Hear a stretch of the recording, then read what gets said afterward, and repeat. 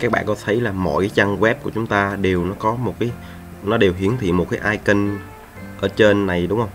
Ví dụ như các bạn thấy ở bên à, Facebook nè các bạn thấy nó có cái icon của Facebook.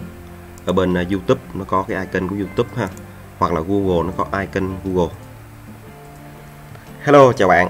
Chào mừng bạn đã quay trở lại với kênh Vinh Marketing. Mình là Lê Xuân Vinh hôm nay mình sẽ hướng dẫn các bạn à, thêm cái icon này vào cái website của chúng ta để cho à, khách hàng họ sẽ nhận diện ra cái website của chúng ta. Ví dụ như cái web của à, Marketing. Mình sẽ để cái icon là cái logo của Dinh Marketing lên đây. Và khi đó khách hàng họ sẽ nhận diện ra cái web của mình. Đó. Ok chúng ta sẽ bắt đầu. Để mà thêm icon thì đầu tiên chúng ta phải đăng nhập vào cái website của chúng ta. Các bạn đăng nhập vào web của ví dụ như mình đăng nhập vào cái web của mình ha lê xuân dinh.com, sạc login.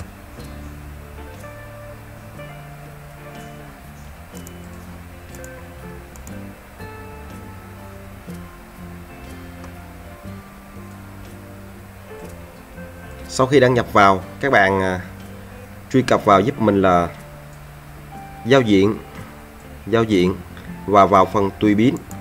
Đó vào phần tùy biến. Ở trong phần tùy biến này thì chúng ta vào cái mục là nhận diện sai nhận diện sai. Rồi trong cái mục nhận diện sai này nó có thứ nhất là tên website.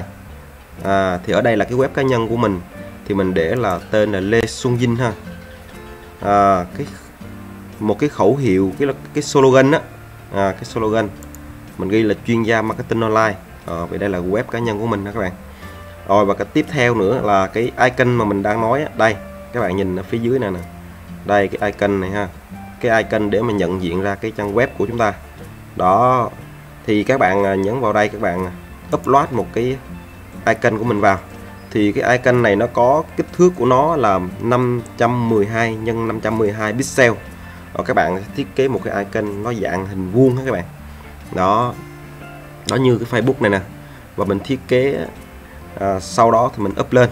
Đó các bạn chọn cái tập tin. À, bằng thiết kế xong thì các bạn upload lên ha. Hoặc là chúng ta đây ở trong ờ, khi mà chúng ta upload lên thì nó sẽ nằm trong cái thư viện của chúng ta nè. Và chúng ta chọn ha.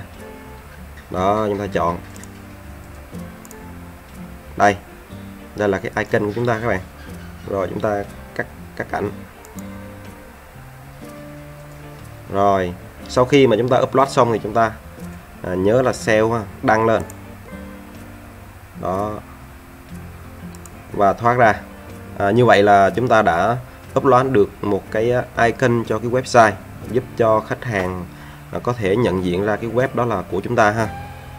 Ok à, các bạn nhớ à, bấm à, đăng ký kênh và bấm à, nút chuông để nhận những video tiếp theo của Dinh Marketing. Cảm ơn bạn đã theo dõi video. Chào bạn hẹn gặp lại bạn những video sau.